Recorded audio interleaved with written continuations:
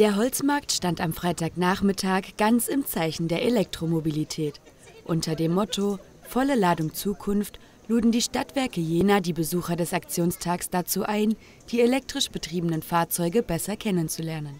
Neben Themen wie dem öffentlichen und privaten Laden konnten sich Interessierte auch über Alltagstauglichkeit, Akkutechnologien und Fördermöglichkeiten von E-Fahrzeugen informieren.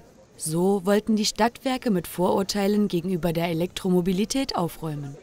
Die Elektromobilität ist ähm, ein wesentlicher Baustein der Verkehrswende, ganz klar. Und äh, wenn wir das Ziel der Klimaneutralität erreichen wollen, dann ist die Elektromobilität einfach unumgänglich. Und es bietet einfach eine sehr äh, umweltschonende Art der Mobilität und ähm, macht auch noch Spaß. Neben Informationsständen konnten die Besucher auch direkt aktivierte Ladekarten erhalten und die E-Fahrzeuge sogar selbst ausprobieren. Verschiedene Modelle von E-Autos und E-Rollern standen für Probefahrten zur Verfügung. Einige Partner des kommunalen Projekts Elektromobilität Jena 2030 stellten ihre dienstlichen und privaten Elektrofahrzeuge vor.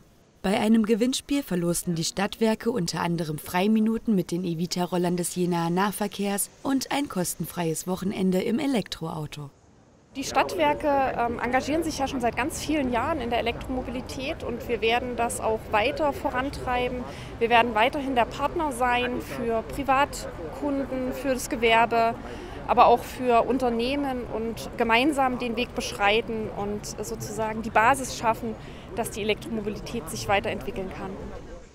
Um schon bei den kleinsten Interesse am umweltfreundlichen Fahren zu wecken, stand für sie eine Kinderstromtankstelle bereit. Hier konnten die Kleinen die E-Fahrzeuge betanken und anschließend auch fahren. Die Stadtwerke waren froh, nach zwei Jahren Corona-Pause endlich wieder persönlich mit den Besuchern auf dem Aktionstag sprechen zu können und Elektromobilität erlebbar zu machen.